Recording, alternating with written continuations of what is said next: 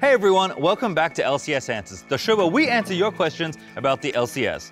Today's question comes from Max147589111, who asks, Hey, what do you all do for fun when you're not casting? That's a great question. So what I do is so I've actually been advised by my legal counsel that I shouldn't answer that question. Our next question comes from Twitter user I'm a little baby. Every time! Our next question is what happens if you have to use the bathroom during a cast? Oh, we just let it fly. We're all hooked up to our own individual hoses, like astronauts. That way we don't miss a single second of the game. Next question. User Shiver Me Tibbers asks, what do casters do when they're not casting? So sick of pretending to be bald for you. You agreed to this, Azael. Just be the only bald caster. It's not a big deal. It is a big deal. Do you know what they would say to me if that was true? Yeah, your puns suck. Watch your mouth.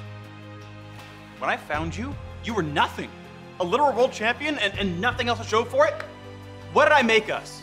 A duo. What are we, Azael? A duo. What are we? a duo.